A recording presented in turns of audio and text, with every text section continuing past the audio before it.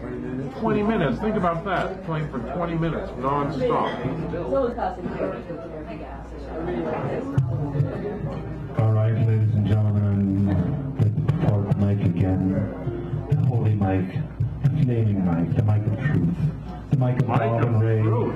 Bob and Ray. I haven't mentioned them in a long time. Yeah, him mention them. Talk All about right, them. so we're coming off after the second break. And Ray and Ted I'm Allen. giving this man over here a chance to realize that I'm up here until he decides to come up here because he's the first one leading things off. Isn't that right? Alan. David, am I right? Is that- Alan. Alan. So, um, if you have never heard this person, you're about to hear this person.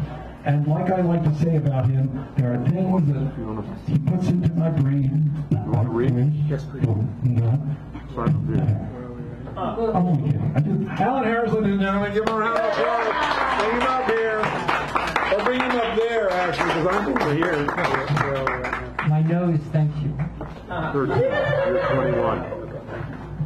Hi, uh, I'd like to start off with a haiku. What? All right. Um, stuck on the freeway, life is just passing me by.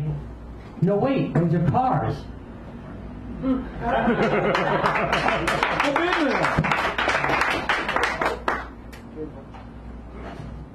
A satellite photo of a hot chocolate gets me thinking about how toilets are outlawed in Connecticut. Soon my hallucinations are having kittens.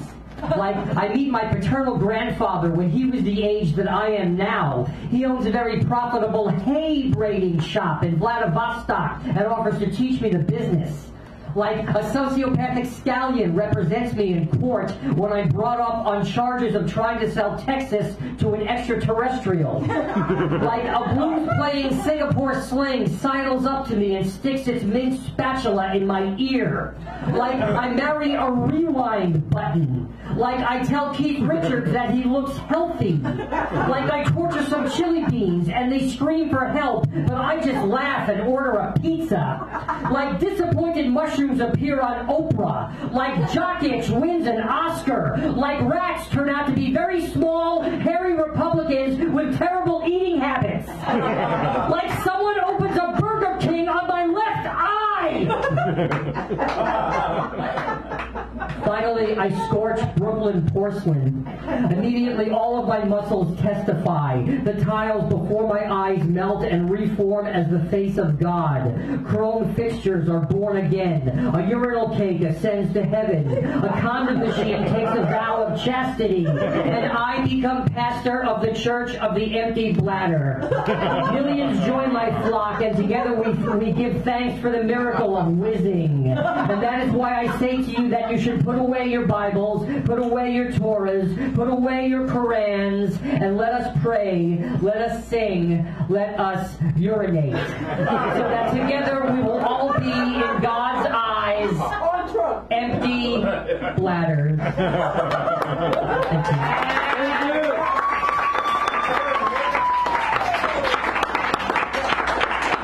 Um, this is something new I wrote, and I, and I apologize in advance. Thank you. We'll hold you to that. I'm trying an experiment. I'm sitting. I'm setting the timer on my iPhone for 15 minutes, and then writing nonstop for that amount of time. Just keep writing. Never take the pen off the page. Just keep writing. Even if I can't think of anything to write, just keep writing. Even if I just keep writing the phrase, just keep writing over and over again. Boy, will that make a great poem. All work and no play makes Alan a dull boy. No, wait, that's been done. Just keep writing. Let whatever is in my head just spill, spill out onto the page. No, wait a minute. Are you kidding? I mean, are you sure about this? Do you have any idea of what is in there? Are you at all aware of the sick and twisted shit that is contained within the receptacle known as Alan's mind? The depraved ideas that would make the thoughts in Charles Manson's head seem like a letter from the Pope? Do you really want those cerebral etchings from the psyche of a madman to be let loose? This was a terrible idea. I could be unleashing forces that might very well change the world in horrible and irrevocable ways. I need to stop this. I need to put the depraved cork back in the bottle. I need to put the sick and twisted toothpaste back into the tube. I need to shut, lock, and board up the door to my mind. Go back to writing the kind of glib nonsense that people will forget about two minutes after I've read it to them. Fear, inhibitions, short attention span, all the things that keep me psychologically constipated are there for a reason. Let others create true and lasting art by tapping into the deepest, darkest recesses of their minds, by plumbing the depths of their subconscious, by burrow, burrowing down until they find themselves face to face with the core of their very being. I need to just write my little jokes, make my superficial observations, do whatever it takes to keep the living, breathing, shaking, squirming, flexing, preening, pulsating, gyrating, pogoing, jitterbugging, jack jumping, show stopping evil within me from ever seeing the light of day. Put down the pen. Put down the pen. Drop the pen. Drop the pen. Just stop writing. Thank you, Melissa, you're up. Melissa. Changed your mind? Oh, oh yeah, there we go. Melissa Mella is coming up here. Give her a round. A renowned poet, a person of fame, note, wit, and wisdom. She laughs, but you know it's all true. I, I would never lie to Do you have any that could take the place of mine? I wasn't even going to read, but thank you for Thank you. convincing me. Thank you. I wanted to hear your This is my most recent poem. One. Oh, that's good. There, I got it. thank you. I'm an audio engineer. That's what I studied in college. I know. One. When I was a girl, my grandmother won the lottery. She took trips to Florida and brought me back gifts. A plastic toy alligator I played with in the bath and a plastic baggie containing a starfish. The insert read, Sea stars aren't really fish. And I dropped it, kicked it right under my bed where my cat, Zephyr, immediately dove and ate it. Two. From my great great grandmother, I inherited the skull of, of a catfish shaped like a crucifix. When shaken gently, there is a rattle of calcium stones in the hollows where the ears once were. I remember perching it upon a shelf in an empty bedroom next to the fragile emerald carapace of a dead cicada and part of a squirrel jawbone, teeth. Three. I dreamt of a past lover again last night. She pushed through a sea of people to get to me, and she said, mine, and I glimpsed a hunger in her teeth, like a shark's, as she smiled before she kissed me. I woke, sore cage rattled and bitten. Four. You recently asked me if I'd want to be a shark, using electroreception to detect nerve to detect nerve impulses, hearing low frequency hums discharged by dying fish, or a dolphin, emitting sound waves from an organ called melon, the teeth acting as antennas to receive the echoing back from the sea. And I answered dolphin, and you should know that yes, it is for pleasure, and it is also because you make my teeth pulse, and it is also because I've grown bone tired of fishing blindly for heartbeats in open seas, no echoing. Five. The sea star has a vascular system of salt water rather than blood. Imagine what it must feel like to be completely filled with the very molecules that surround you.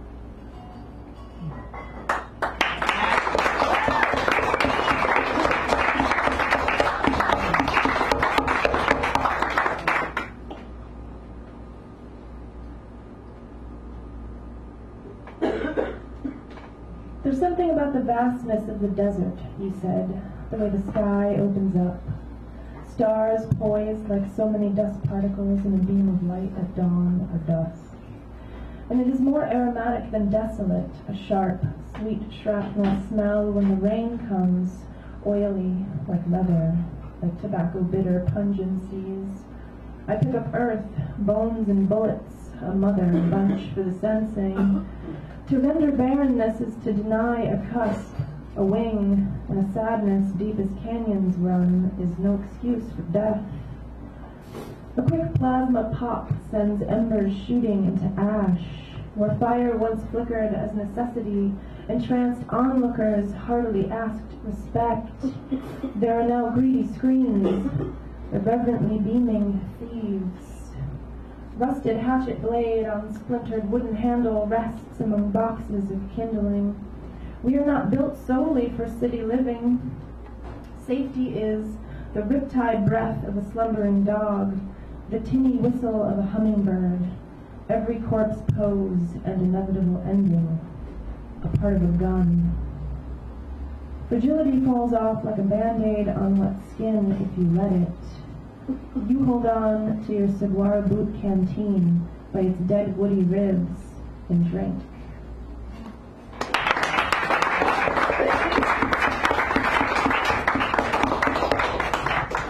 So this is um, a poem by Audre Lorde. It's called A Litany for Survival. Feels appropriate since I wasn't going to read, and then I decided to anyway. So um, What was it called again? A Litany for Survival.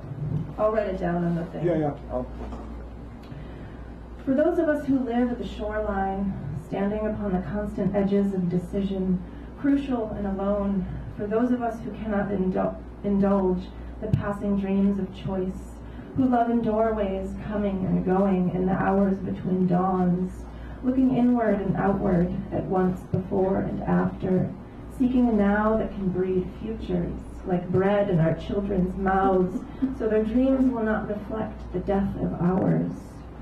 For those of us who are imprinted with fear like a faint line in the center of our foreheads, learning to be afraid with our mother's milk, for by this weapon, this illusion of some safety to be found, the heavy-footed hoped to silence us. For all of us, this instant and this triumph, we were never meant to survive. And when the sun rises, we are afraid it might not remain. When the sun sets, we are afraid it might not rise in the morning. When our stomachs are full, we are afraid of indigestion. When our stomachs are empty, we are afraid we may never eat again. When we are loved, we are afraid love will vanish.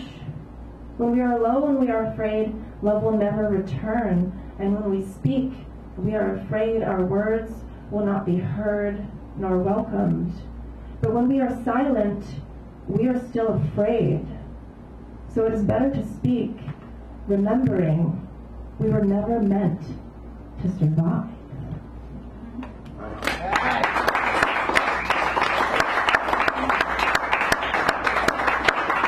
I was getting her on your What oh, was that? getting her to get there. and- No. Mark, you're up. Mark? Mark, no, wait a minute, hold on. You're, this is your first time here, right? Yeah. Oh! Well,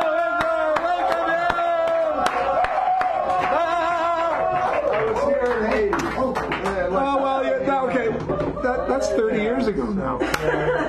We have a new tradition. You're you're kind of well, you're not so, legally yeah, essentially right? new. Yes. Uh, I I have seldom read for the last like 20 or so years, and I went to uh, Haight Library. Dan said over here someday, so that was about a year ago. Okay. Um, this one is called Honk Honk Honk Ooh Wee Ooh Wee. Among us abide ascended masters, who by cocked ear and sacred spanner intend motorcycle exhausts, pitched to trigger parked car alarms. Wanted to be soft. Yet so much more elevate my heart, if purely by coincidence.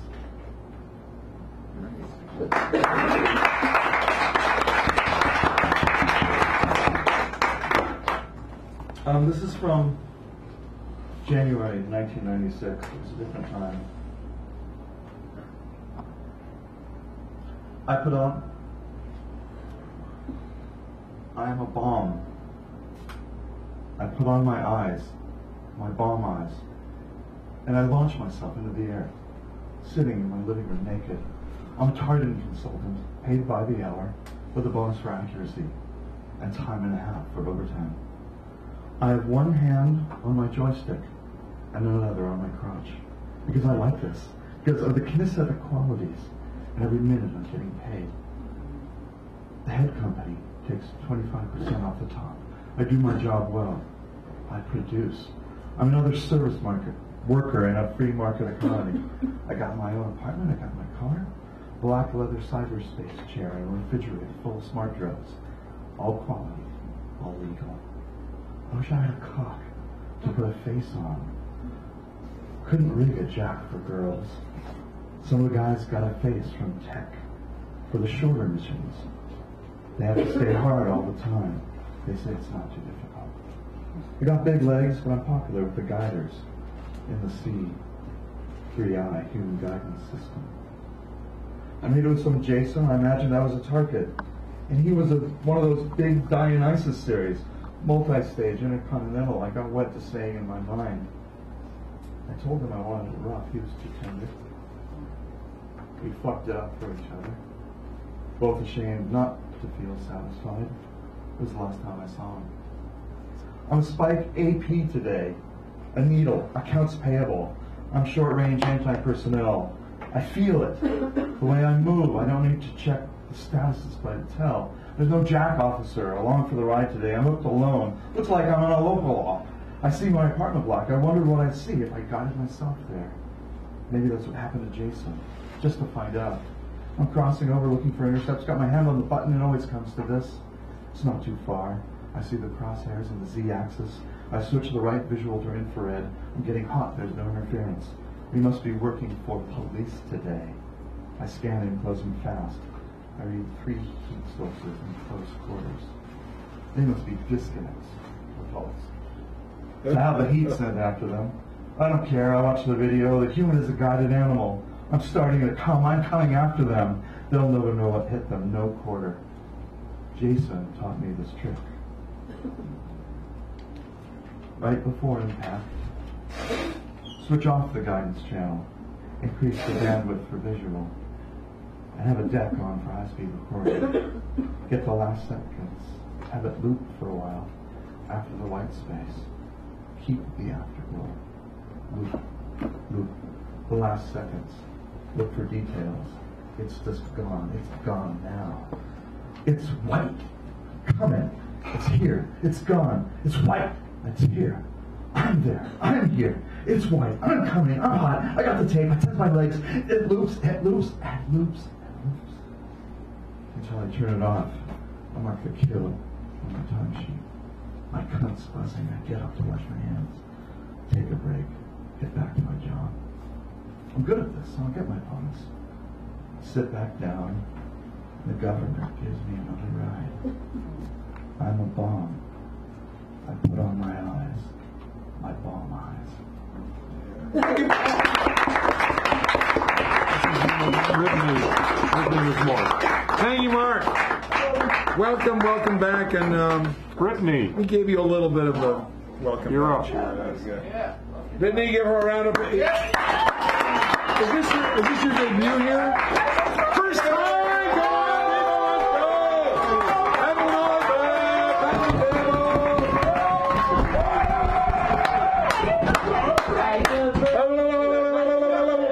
Come on, Oh, it's uh, do you want me to read the whole thing? I don't know, I can't. Um, There. you ready for it? Uh, you are a child of the universe, no less than the trees and the stars. You have a right to be here. From the- just your honor. Okay. It's not so bad up here. That's good. Okay. Okay. All All right. right. Friendly bunch, yeah. Well, we, we keep the sharks in the back. Just And we don't we don't throw anything either. Oh, No, that's- no that's throwing. Nice. That's nice. I'm glad you don't. Okay. All right. You guys ready? Yes, we are. Okay. So this is called uh, Bluer Than Black. I actually haven't read this out loud before. Something like this. So you guys are my first ones. Okay. Um, I once lived in a house darker than the color black, so dark it was blue. This house was just a block of concrete and cement.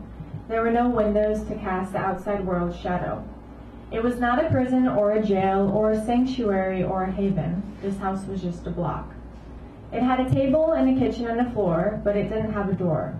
It had a crack in the wall so deep I could creep in and out. There was a clock in the kitchen that was always three hours late. When it ticked, the whole house would echo and hiss. The concrete was unstable and still damp, so the house would shift. With the wind and the rain, it was at the mercy of nature, and it hated it. I hated it. Eventually, it collapsed, This house was just a pile of blue rubble. I then moved to a house brighter than the color yellow. It had several transparent doors on the outside. This house was just a window of the world. It was too exposed and too vulnerable, weak and open. It wasn't sturdy like a block, it was fragile like a bone that cracked and fractured under pressure. So I built my own house, five feet five inches to only fit me. It only had one door and one window, but that was all I required. I built it near the glass beach I used to go to when I was younger, where the salty wind scorched my face and the sun stained my skin. I used to play in the dirty, foamy waves with a sky that wasn't cobalt, sapphire, or midnight blue. It was just blue, bluer than black. I painted my house with a mixture of yellow, blue, and black. I put locks and deadbolts on the door. This was not a house, but my home.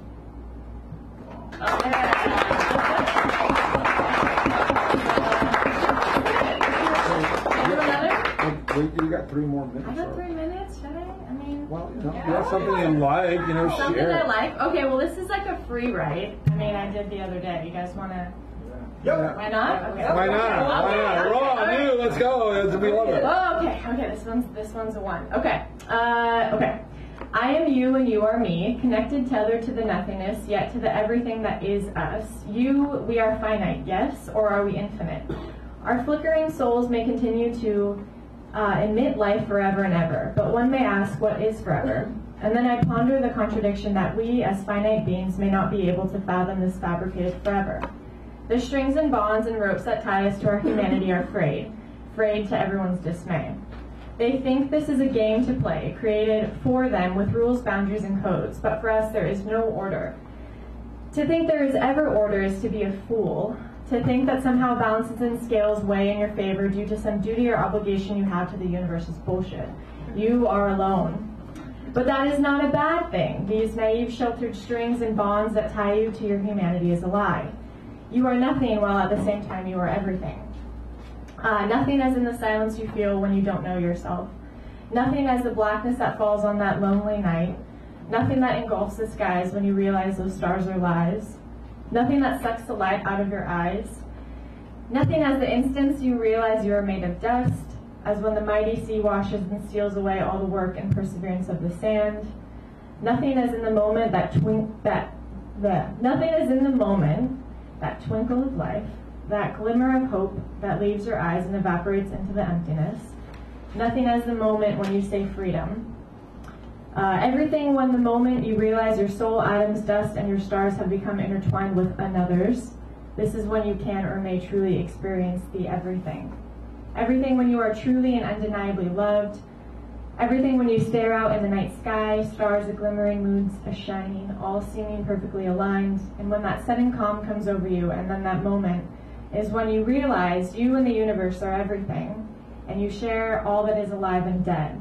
Everything in the instance when you come to understand that you are the universe. Thank you so much. Thank you. Antoinette. Antoinette. Wonderful. Give her a round as she comes up here, please. And having the stars, the costume, switch, and uh, all that stuff. And Clyde always here next. All right, to the mini feature, yes? the Mini Mini. Yes, thank you. The Maxi All right. Mini. 1975. Taking the corner too fast, passenger door unhinged, flew open at the curve. Leaning into the road, she held on, laughing hard. They smoked weed at rush hour, oblivious to long, angry horns and glares that did not lessen the joy of hot summer wind up her skirt.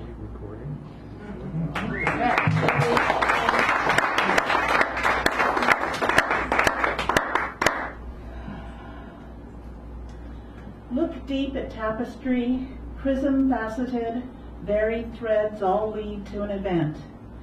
Never finish, there is more, interwoven thought, action, end. Circle holds death, in between we are bound.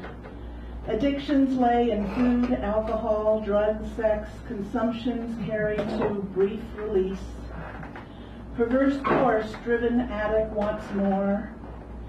Child is raped, murdered, not in this world. She rests before moving on.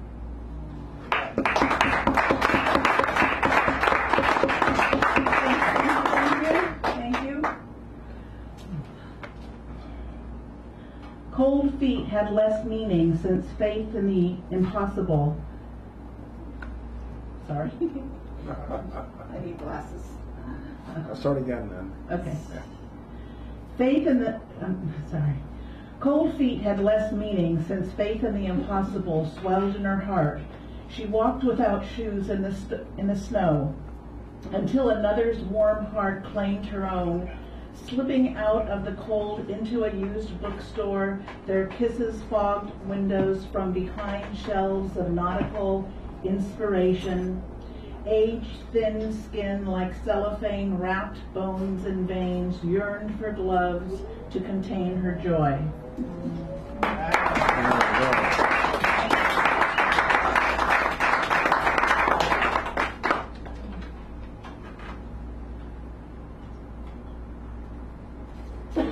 One more. Yeah, well.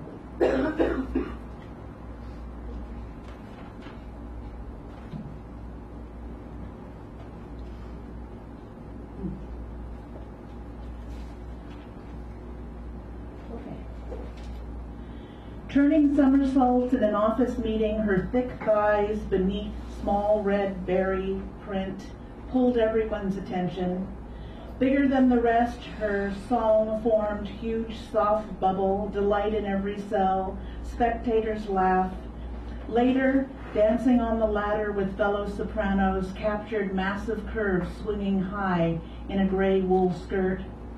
She saw girth of little consequence, matter of character, mind's final footing, a conspirator's dance for adipose. Thank you. Antoinette. A new regular person. All right, let me just look at the list here. My co-pilot is co-piloting. All right, so we have. Oh, um, I, much of what I said about Alan Harris, if you remember my brief introduction to him, applies to this next individual here, our mini feature of the evening. Will Clyde always kindly come forward, please?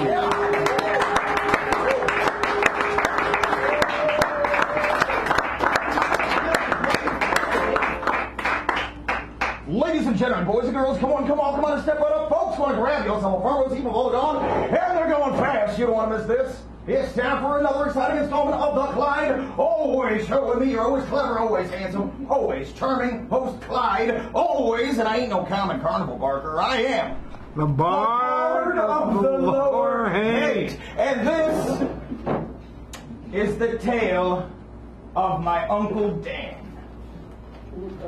When I was just a tender lad, about the age of eight, I'd stay up past my mom and dad and count my worries late. But one such night while tucked in bed, I jumped to spy a man who through my open window said, I am your Uncle Dan. I've known you your entire life. I know the way you are. I know your struggles, pain, and strife. I've seen it from afar. And so I traveled here this fall across the countryside. I bounded over mountains tall and forty rivers wide. I came so you can lighten up and love the guy who be. But first I need to fill my cup. It's empty, you can see. And I'm super hungry too, my uncle did declare. I'll cook a mighty feast for you, a banquet we can share. And so my Uncle Dan cracks some eggs, made a roux. He piled meats in cases stacked and ladled out the stew. Sorry. Zinger! We gobbled gulped and gladly ate. We smiled as we chewed, and Uncle Dan refilled his plate and polished off the food. At last we laid our heads to rest. The dish is still a mess. I worried Mom. She'd beat her chest. She'd roar, and I confess. But Uncle Dan, he woke before the folks could start the day. He yanked me up and off the floor, and we were on our way. Well, Uncle Dan, shouted out, just where are we to go? I'm taking you to see the trout. There's something you should know. He led me to a little farm in morning's breaking gleam to view a sight of little charm and artificial stream. The fish within were flapping hard. They fought for every stroke, but most they barely moved a yard before their spirits. And Uncle Dan, he pointed to a single hardy fish and said, that's what the wisest do of happiness and wish. You see how hard he fights the blast. He never stops and spins. He knows he's getting nowhere fast, and yet He swims and grins. Now come with me, said Uncle Dan, to yonder rubbish heap. Perhaps we'll meet a garbage man to sell us something cheap. The dump was full of junk and flies. The stench was in the air when tractor tires caught my eyes. And Unc asked, do we dare to roll this tire down the street and see how far it goes? But Uncle Dan, I stopped my. That's where the traffic flows. But Uncle Dan was worried not to bid that tire by. It rolled a straight and narrow shot to where the truckers fly. The tire bounced, the tire thrashed, it gained tremendous speed. Along the way, it nearly crashed my pants. I nearly peed. I bet it's rolling even now along some dusty road, perhaps in Timbuktu, Macau, or sunny Mexico. it's time I go, my uncle said. But remember something, son. There's time for fretting when you're dead. This life's for having fun. And then my Uncle Dan was gone as quickly as he came. Back home he must have moseyed on, and then I did the same. Before my folks I had to stand, irate it seemed to me. I held my jaw quite squarely and proceeded to come clean. Admitting all with guilt, I sang, and all my mouth it ran. I wondered if for this I'd hang, when Mom said, Uncle Dan? you lying snake, said Pop. A shame! As Mom collapsed in tears. Dan's her only brother's name. He's been dead for years.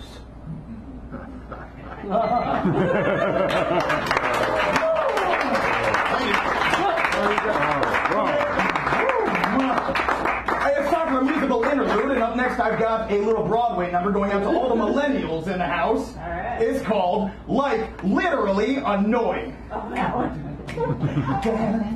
Like literally, he was dumb as a turkey, like literally, he would bray like a mule, like literally, put a prick in a jerky, he's a literal shit show, an asshole or two, like literally, he was driving me crazy, like literally, he was getting my goat, like literally, I was Martin Scorsese and literally jumped, like right down his throat, now literally, he's asleep with a fish, is now I'm just so full of beans now, literally.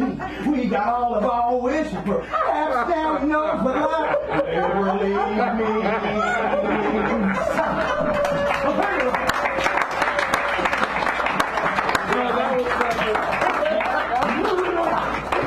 All right. Well, now I've got a mm, another personal anecdote for you, all about how I gave back to society, and it's entitled Clyde always gives back to society. nice title. Go. So I was going to organize a huge human rights rally, and it was going to be the greatest human rights rally in all of history. But I needed a web page and a face space. We had to tweet all about it, so I got out my smartphone to get started. But then it occurred to me that my smartphone had been assembled by eight-year-old Chinese children. So that put the kibosh on that, but I still had to do something to feel good about myself. Because what can I say? I'm selfless. So I went to the soup kitchen, and I got a bowl of soup, and I pondered ways I could help people. Now, it seemed to me that folks were most dire need of four, count four basic necessities. Those being spare change, cigarettes, crystal meth, and malt liquor. These are the things they're paying for in the streets anyway, so then I had an. Then I went to the bank and I withdrew 1,000 rolls of pennies. Then I used my Safeway Club card to rake in the savings on their entire stock of Steel Reserve. Then I drove all night in the rain to buy carton upon carton of tax-free cigarettes from the Native Americans. Then I called in a big favor from my Uncle Dan. The next day I was ready to get back to society. At dawn on the corner of O'Farrell and I studded the streets with chunks of meth crystals and get packs of mentholated cigarettes in the nooks and crooks of crannies like they were Easter eggs. Then from the roof of a tall building, I said what can only be described as a malt liquor water slide with an inflatable wading pool full of it at the bottom. Then they began to flock. The poor, the needy, the destitute, the toothless. Masses swarmed in like hungry locusts. And they fed on the treasure they found and bathed in beer like it was the fountain of youth. I watched in reverie as I cut little nicks in the penny rolls with a razor blade. Ah, then I slid on the slide while bombarding them with my own handmade spare change grenades. Pow, pow, pow, pow, pow. The kitchen like children grabbing up candies at parades. Then they lifted me to their shoulders like I was Robin Hood. And they, my merry men, and the staph infections and the fingers unclogged and the boils melted like popsicles in the sun, and the rags became three-piece suits, and the bindles became Samsonite briefcases, and the doorways and overpasses morphed into multi-million dollar mansions, and the fast food chains and donut shops became three-star Michelin-rated restaurants, and the CEOs of major corporations threw themselves from top-story windows as the president abdicated his duties, and money became nothing more than useless chips of paper, and all international borders were officially dissolved, and world peace was all there was. and that's when he appeared to me, descending down from the open heavens on a chariot of light. The cheerful bearded face of the man in the sky, none other than John Lennon. and he spoke to me. He whispered in my ear. He said, and you spare a fag? And I said, Fucking A, Johnny! Thanks for listening, everybody. Tune in next time. for another exciting episode of Oh, Can I do two plugs? Oh, I still got three minutes? Okay, cool. The beaver went off crazily. So. Wow. Okay. Um, well then how about a fucking encore? Alright. All right, there you go. An encore! I got something very important to tell you. Um, a few things important to tell you. Well, one, uh, actually, I'm on the lam right now because, and I'm too old to be doing shit like this, but I almost got apprehended by a Fairbear this morning on the number five bus. But I turned tail and ran for the hills. So whatever you do, oh, there is. Never mind. Finish this. Whatever you do, yeah, the people who want the, they want to check your tickets. Oh, that's what they I'm are. on the land, so I'm trying to lay low, but I like a gay bear who's like the cousin. Oh no no no! The, the oh, people who check your tickets. I had no ticket, so I had to run away. Said run, okay. Anyway, you, you didn't need to know any of that. I'm just I'm just stalling for time here, Dan. oh my God! Wait, but uh, no, I got a, I got a show coming up. It's at the North Beach Library. I've got flyers to give you, and uh, it would be my pleasure to see you there. And that would be so nice if you could come because it's a free show. Uh, I'm going to do 25 minutes. So anyway, um, just really quick, I'll end on this uh, little tiny poem for you. Uh, it's called Regan, the Militant Vegan. You may have met on Hippie Hill a stinker named of Regan, who'd always preach and blather shrill how much he was a vegan. Suppose you found a lump of meat and kindly some extended, old Regan crush it neath his feet, then lecture you offended. If cherished you a fancy cheese, some Gouda, Swiss or bluer, would Regan dash and cheese he'd seize and toss it down the sewer. If have you honey in your tea and dare let Regan know it, as if avenging every bee right in your face he'd throw it. Now, Regan weren't no hypocrite, professed he on and over, as poplar bark he chewed with grit, and for dessert a clover. Now we picnic in the grass and pour our glad libation. Poor Regan's absent, for alas, he perished of starvation. Thank you, Glenn Always.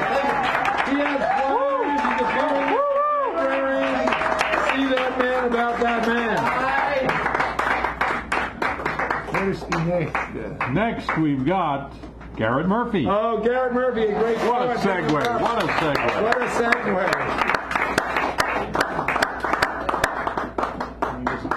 Get him, Garrett.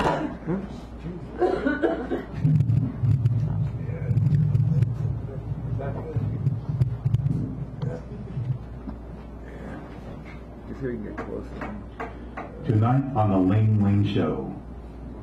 Remember none too long ago when Seth Rogen and James Franco did the impossible and made entertainment of a plot to assassinate the leader of North Korea, and the populace rushed to the casting call to portray the revolutionaries who founded our nation, Brain Boo and bred the odds as they did record-making digital rentals.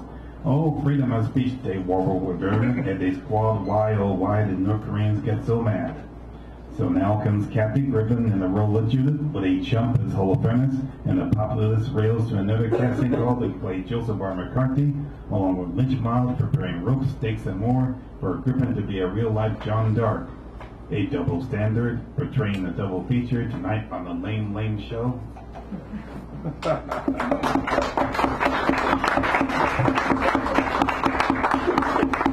The secret prerequisite for passing the Law Enforcement Academy. Congratulations to all your recruits. With the passage of our secret requirement, you have officially fulfilled all the tests for being able to call yourselves officers of the law. let the outside world believe that what we mean by the special elite, that we mean toughening one's mind and body via basic training, or being proficient in hand-to-hand combat, or being the crackest shot imaginable. It is really none of those things. Nor is it familiarity with police jargon or military jargon, or how well you can handle our numerous types of armament, or even knowing your badge or serial number. The most uncanny and savvy among you manage to figure it out. It happens to be how well you can tell a tall tale, one that moves our allies in course and politics to believe you, when you can tell how the target reached for your gun, or tried to assault you, or tried to threaten you and others. And you can now tell a most compelling story using an especially bright imagination. That rookies are what really makes a good law enforcer.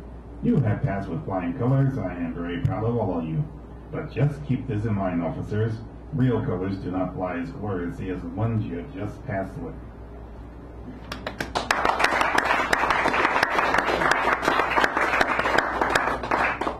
The sinking tower of rhymes with Crisco. Like present-day imitators of Yertle the Turtle, the city parents and developers did it this time. All they really had to do was to simply build a new transit center. But of course, who do we think we are? Anyone can build a simple transit center, but we're SNF, the city that really knows how. There's nothing, no nothing going higher than we. Will build us a transit center capped by a building that will really help to fill us up to the stars. So they build up and build up and build up some more, and behold, that tower was built, a marvel of the ages. But what's that odd sound, that sinking sound, not quite the burping sound of a match, but equally ominous? It gasps, roars out, and it's plainly clear that that tower has begun to sink like four hours into the earth. Those developers might have dared to rise to the stars, but it appears they may really sink to the fallen stars. They really should have known that to build upon sand, something up the groves or hourglasses, souls or the hubris of city leaders and builders.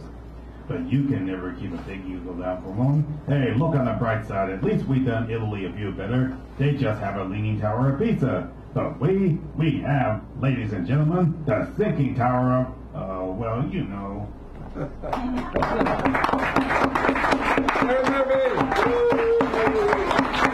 Gaia. Gaia, you're up. And followed by Bobby E, and then we're done. All right. Take care of these wonderful prizes designed, like I like to say, with your minds in mind.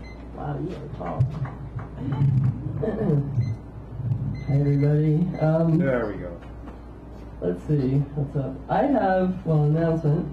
So, I'm going to be part of this Thousand Poets for Change, 100,000. Oh, wow. Whatever. Yeah, yeah. And, um, okay, so, uh, Phil Packett asked me to feature. And what I'm thinking of doing is every year I used to do the annual exorcism of the money system. And I want to do it again this year, but I think it would be really cool to have a team like you and you. And so what I want to do is put together like a little kind of live theater thing if you all want to participate. And we'd basically be like burning stock exchange reports and throwing fits and exercising the money system. So if you're interested, let me know. I believe in teamwork and sharing features, and I really don't give a shit about it. But um, so what I did last time was I did uh, Sleep Now in the Fire, the Rage Against the Machine thing, and then Howl and something else. And people were like, oh my god, it's like a goddess or something. So I think we should have a team this time. If y'all want to do it, let me know afterwards. Um, I'm still here.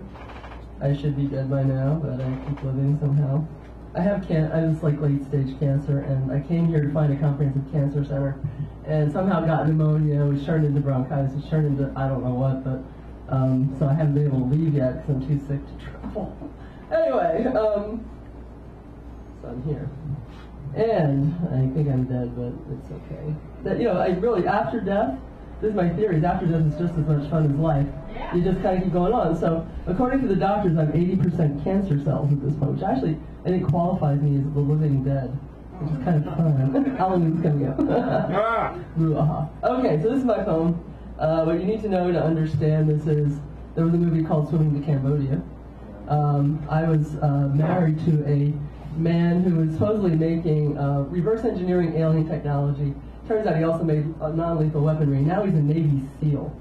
And we just love and hate each other, like you wouldn't believe. So this is my revenge because him and another partner of mine decided that the best way to keep track of me was to stick a tracking device up my butt during sex. And I found out. and you should see when I stuck up his urethra. But anyway. anyway, so, he deserved it. I, I saw another. I had the. I when I, every time I go to the ER, I get the, uh, you know, the uh, what are they? IV needles. So one must be scary to make money as well. Your destination. Oh, when when I travel, so these CIA guys and stuff, they come around and they're like, "Whoa, what's your destination?" And I, you know, I'm like, "None of your freaking business." And then I put on a wig and get off the train so that they can't find me. But um, so this is the question, and this is the poem. Okay, it was one. It was the end of the movie Swimming to Cambodia. They kept spinning in my mind. Now I know what killed Marilyn Monroe. Narrated over the din of the black helicopter blade, separating those who would live from those who would die. Like my heart when you told me we were we were over because I couldn't get a security clearance. Insecurity clearance, I yelled as he faded into oblivion. Me, those refugees left on the beach. As the U.S. government abandoned Cambodia while the Cambodians remained because they wouldn't stoop to the level of coward nor abandon their people. Like you, mister, my job is more important than love. I know what killed Marilyn Monroe. Mafia boys getting laid who offered up to Kennedy to confess the Cuban Missile Crisis in the arms of a love goddess who had to die when let's see, who had to die when I couldn't find the. Okay, who had to die when secrets needed hiding. Yeah, I know it killed Marilyn Monroe, but I am not your love goddess. I am death incarnate, the alpha and the omega, who could be your most orgasmic love or your worst freaking nightmare, Captain Kirk. When Adele says, that's alright, I'll find someone like you. I say, I want nothing but the worst for you. Motherfucker.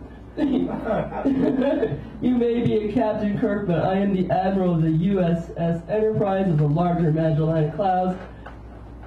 Well, okay, my cat was the, um, Angel Kitty was actually the Admiral, but nobody believes that because nobody thinks cats are smart. Um, anyway, so she died. Uh, you will obey me or you will obey me because it takes two, baby, to make a dream come true. And I'm the one, and but so are you. And it takes two. Blah, blah, blah, blah. Um, world waiting, world, oh yeah, anyway. I just. Okay.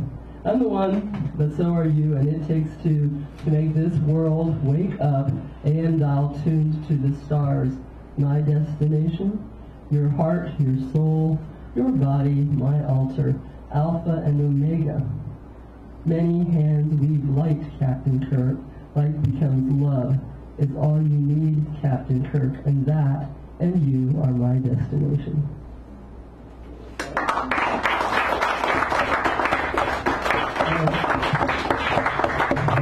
Again, for me after about doing this exercise, I think this is the perfect crowd and perfect bunch to do it. Um, I'm going to torture you with a song. Oh, I'm done. Yeah, yeah, time. Okay, all right. No, no. But see her about this thing. It's a great, and uh, if you're not, Yeah. let me let me just show them that. I, I know several people are going to be there, even me. So, and she'll be there, so it's going to be good. And see her about that. There we go. Oh, this is you're, you're this is not your first time here, right? I was here last week. Okay. Last week was my first one. Oh, did did Good we memory. hoot and Good holler memory, and Dan. scream and holler for A you? little bit, but it was a smaller crowd. Uh, no, let's treat him like we want to treat a newbie. Come on, dude, let's go.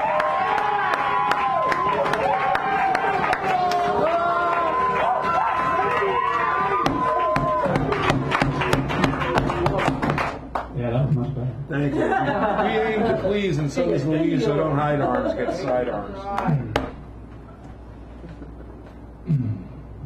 Cynicism, substitute for optimism or realism.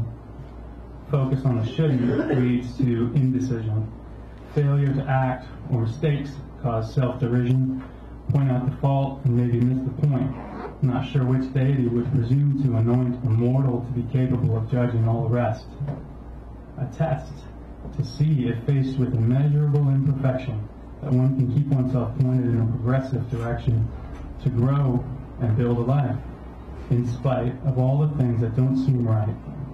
Who's right? Who is right? Precisely. That's the problem, put concisely. Nothing can be objective. Direction is only arbitrarily corrective, and for that matter, whose test? When did it become a competition with all the rest? Put feathers in caps and righteousness in cells and metaphorical trophies, ribbons, medals, and report cards on shelves. Who cares? I'm better than anyone who dares play the game that's all been fabricated in my head, whose rules will remain a hidden secret till I'm dead. So secret, in fact, I couldn't begin to understand them myself. Myself. Me. It all revolves around me. If I stay within myself, then I'm the only one who can hurt me, and the only one who can praise me. Guess how often I do either. Yeah, it doesn't sound very good to me either. But listen, if the negativity and harshness is directed only out at all the unsuspecting witnesses to this noiseless internal bout, then there's no risk of friendly fire. Now you're a liar. That trajectory can't be maintained. An endless, infinite battle of one versus all won't be sustained with the resources at your disposal. Proposal. Try moving the center of the galaxy. Can't. It's a Herculean task. Won't. Don't know where to start. Step in place. Ask for help. But there's no one to trust. But you must. Now, trusting means giving and taking, and I don't want to lose anything important. You will lose. It's a foregone conclusion. Don't buy the illusion or sell the delusion that your happiest and best can't be taken away. If all I have to do is change, then all is lost. And there is nothing more. Set up for failure, a fight that can't be won. Honestly, I'm dishonest, not genuine nor kind, just scared and lonely and already missing what I haven't lost yet. Help. I've hated for so long it's normal. I hate others so I don't hate me, and if I hate them first, they can't hate me back. Or who cares if they did anyways? Cynicism is a shield, sarcasm sword. And riding some good fortune and luck, I have arrived at a body of water where I must sink or swim. My tools that got me here are now burdens. I've refused to go along for the boat ride. Imbalance of pride. Strength in numbers? Mine only counts to one. Anti-everything. Good for a laugh or a one-time conversation. No sustainable relation. Ship. Partnership. Mine's in trouble all of a sudden because I revealed a bit of weakness. Of honesty, I thought. Tough crowd. Better not do it again. Can't be trusted. Better get my shield.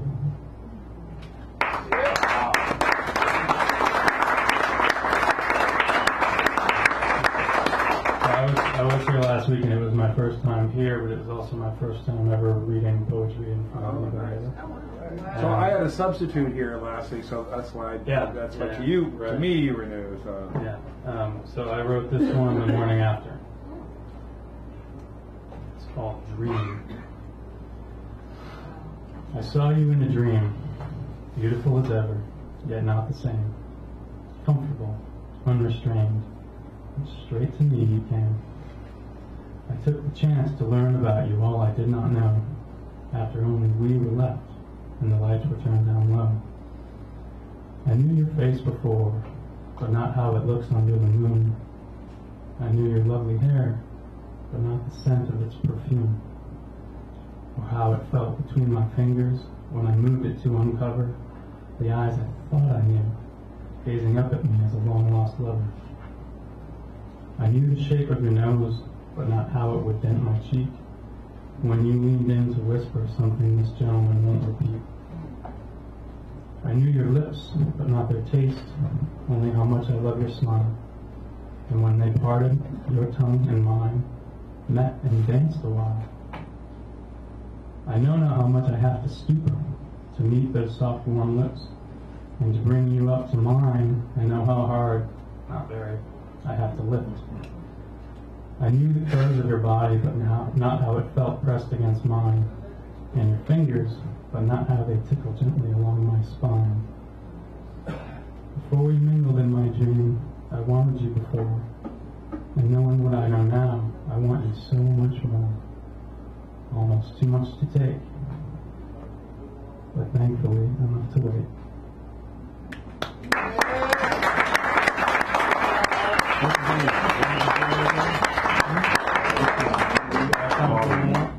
Yeah, yeah. Well, let me well, let me see. Bobby. Yeah, you, you got you got all that in so I want to do a little short one. Yeah. Bouncing over uneven hills, dripping, steaming, and wet. The heat is set to boiling, so we moisten further yet. Umbrella signal to others that your dryness ranks first, so no matter if you stab my face and cause my eyeball to burst. Rain is only water, but you think it harms us worse when you see all of the selfishness to avoid its gentle curse. I prefer to be in rain, giving puddles a righteous splash, but alas, I'm off to work inside and sit down on my ass. Rain is a good thing. It's a life-giving and pure. But in the city it's a nuisance for which we seek a cure. We don't know anymore, we who dwell in the city, what is good for us, what's healthy, and what's pretty. We know culture and convenience, and what's comfortable, how to live with technology, but nothing natural. Rain reminds me of this, for when we could enjoy its fruits, we hide from nature's shower and protect our fancy suits. I've told my son that when it rains, daddies don't jump, don't jump in puddles. But I may be hasty in my claim, and my opinion has been muddled. We all should go enjoy a romp and get mud on our pants, because life's just not worth living if it's not okay to dance. Well,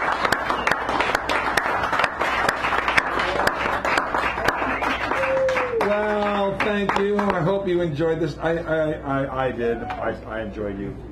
Um, these are the door prizes, which if you prizes, prizes, everybody got prizes. So this is actually now that I had a chance to be be sane about this news from native California. Several interesting articles in there. Now this, talking about native California, San Bruno Mountain, a great place to hike and wander through. And like I said, I had adventures and misadventures there. But this